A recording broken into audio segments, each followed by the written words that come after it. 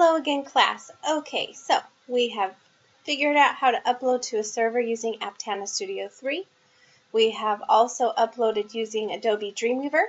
Finally, we are going to upload using WinSCP. WinSCP will just do the FTP or SFTP file transfer protocol. And it is a very popular application, so I recommend downloading it. It is free and giving it a shot as well. Just know it is another option out there for you, and it will be the final option we're going to go through for this class. So I'm going to double click on it here.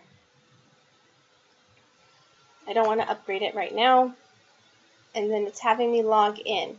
Now, new site, so obviously you can click manage to manage existing sites, or if it's the first time you used it, you're going to do new site, SFTP protocol, make sure that's selected and the host name is imper spaces.imperial.edu. Uh, again, port number doesn't matter, leave that alone. Username is your student email ID. Password is your student email password. And then hit login. It's going to search, authenticate, and let you in. Okay, so what you're going to see is on the left what's on your computer, so your local files, and on the right is what's the remote files or this what's on the web server. So if you haven't put anything up on the web server yet using Dreamweaver or Aptana, like we already talked about, then this will be blank except for maybe the up or the back folder. So for me, I have a Unit B folder in here, an About Us HTML, and an Index HTML. So if we go to the website right now, this is my index because there's nothing here, so index will be your default. It's still the testing one, two, three uh, site that we put up using Aptana. So now I'm going to replace it with a different index file to show you how this works. So on the left again is my computer. So I have all sorts of stuff, of course. So if I go to desktop and I go to, let's see, what are we going to do? CIS 212. Here we go. I have a random index.html file in here. I open it up to see what it is and look. Okay, so I have a very generic HTML once more. It says this is the title. I'll change the title to say Melody's YouTube video for her Word class.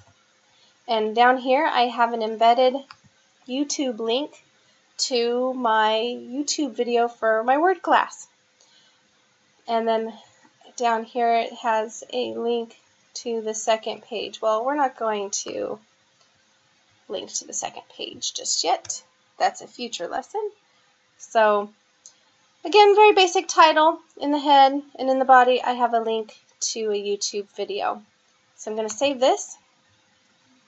And now the fun begins. So again, we were on the website just a second ago. This is what's up there. So I'm going to replace that with this other index.html and make sure that it works.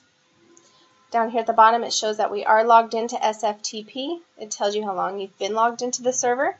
So it's active and good to go. I'm going to grab this index and drag it and drop it over here.